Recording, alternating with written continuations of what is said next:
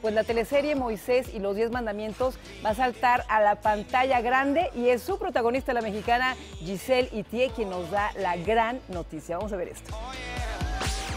Tal vez yo debí esforzarme más. Debí hacer algo.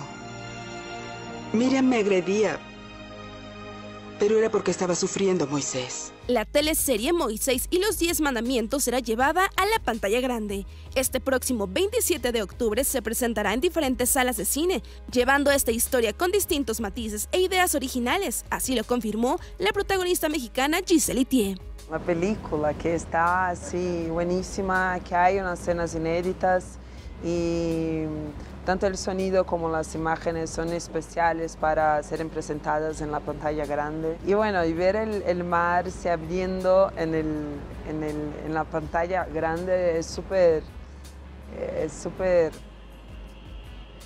Hay mucha emoción ver en grande.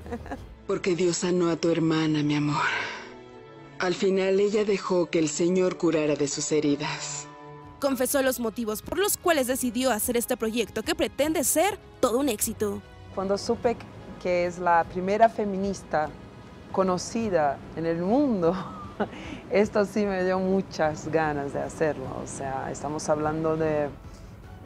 Es una lucha que tenemos desde siempre y ahora, o sea, gracias al universo, a Dios, qué sé yo, estamos cada vez más fuertes y platicando mucho sobre eso, sobre esta fuerza de la mujer. El amor que vive su personaje Sípora con Moisés traspasó la pantalla, pues ambos actores tienen un romance desde hace más de dos años. Nunca me pasado eso, o sea, nunca, nunca tuve un novio ni dentro de la, de la serie, de la telenovela, nunca como con mi par romántico.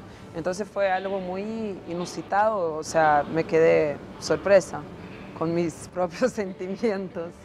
Y sí, se pasó en la pantalla. En cuanto a los planes de boda, Giselle opinó. ¿Boda? No, no pensé en boda todavía. Todavía no, creo que tenemos que ir despacito.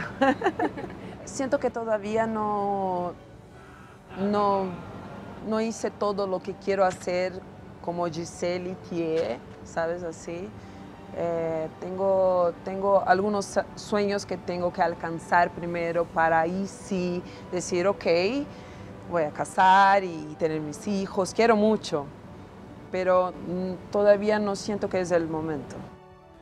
Todavía le falta mucho que hacer, todavía no se quiere casar, pero eso sí está consolidando como una gran actriz. Y con esta serie, claro, ha tenido muchísimo éxito. Oye, Paseo de Estrellas. Ayer se llevó